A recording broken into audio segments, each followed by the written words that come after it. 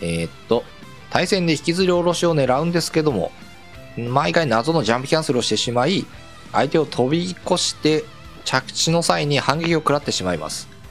こればっかりは自分の手癖なので、アドバイスくださいも何も直すしかないですね。誰かに話しかっただけです。すみません。完結してる話が。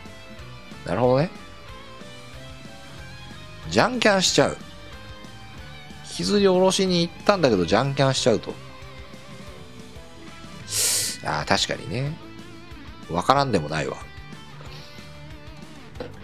こうやって、いる相手に、なんかどっか行っちゃうみたいな。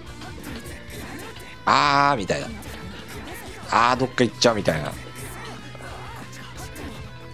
どこ行っちゃうどこ行っちゃうみたいな。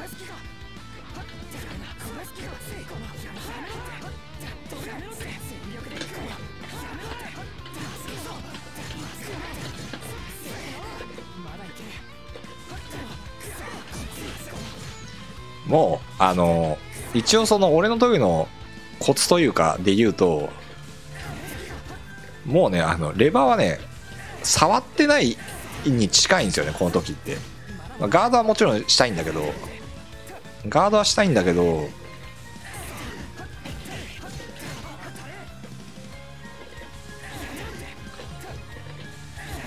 ハイジャンプしておーって言った後はもうなんか触らんようにしとこうみたいな。